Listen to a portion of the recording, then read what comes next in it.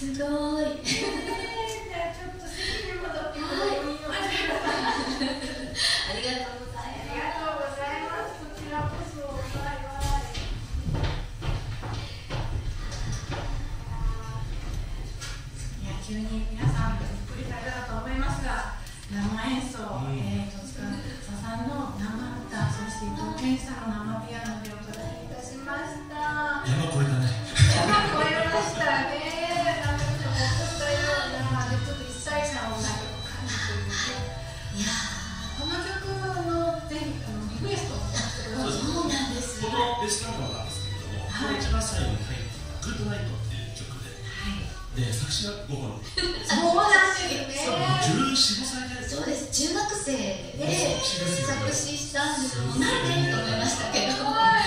切ない物語本当ですね作曲がサザンオールスターズの原由子さんぴったりですね。この素敵なこう可愛らしいキャラクターに、なんかわーと思いました。でアレンジがね、あの青木希さんっていう大御所のあの先生なんです銀河鉄道999の音楽ですねそうなんですか。うん。へえ。もうロマンティックなストリングスを書く方大好き弦楽堂